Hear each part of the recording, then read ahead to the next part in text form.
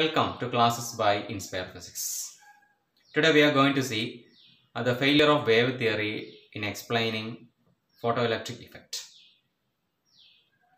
According to wave theory, when uh, light of high intensity falls on a metal surface, electrons will absorb the maximum uh, energy from the high intensity beam of light. Means the energy, kinetic energy of the electron should increase when we go on increasing the intensity of incident radiation, electrons with more and more kinetic energy should be released. But practically what we observed is that the maximum kinetic energy of electrons emitted does not depend on what? Intensity of radiation. Here we can see in the graph, we can see that. See, here we can see that two stopping potentials. Means the maximum kinetic energy of uh, electrons are different.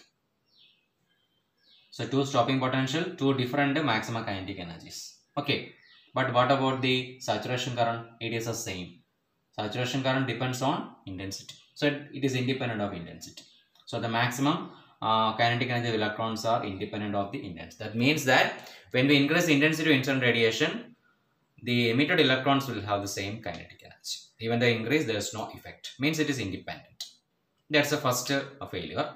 Second is that if uh, an if the electrons on the metal surface continuously exposed to uh, radiation incident radiation of sufficient intensity if they continuously absorb the uh, energy they should come out.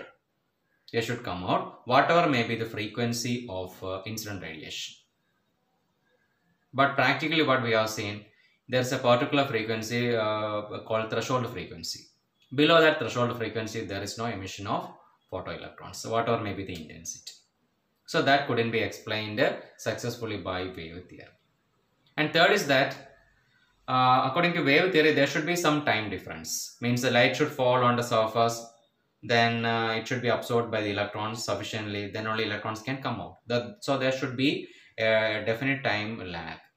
But practically, there is no time lag between incidence of radiation and immediately electrons will be emitted. And when light uh, hits on the surface, immediately the electron should be emitted. There's no time lag. So these things were unable to be explained by uh, wave theory. So these were considered as failure of wave theory in explaining the phenomenon of photoelectric. Okay, thank you.